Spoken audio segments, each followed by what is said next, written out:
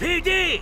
Macht sofort die Tür auf und steigt mit erhobenen Händen aus dem Fahrzeug! Sofort!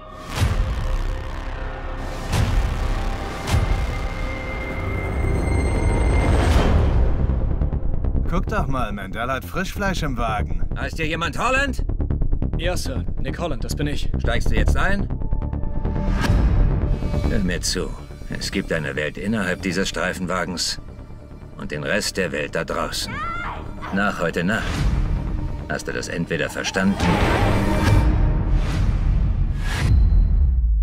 oder der Job wird dich auffressen.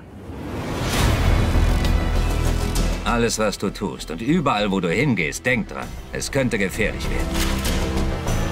Ich sag's dir, Mann, da draußen herrscht Krieg. Es gilt wir gegen sie. Du wirst nur das tun, was ich auch tue. Bleib sofort stehen oder ich schieße! Ich weiß nicht, ob ich für das hier gemacht bin. Es ist schlimm, Ray. Wie schlimm? Schlimmer geht's nicht. Das sind Kinder. Sie können nicht einfach so ausschalten. Der Unterricht ist für heute aus.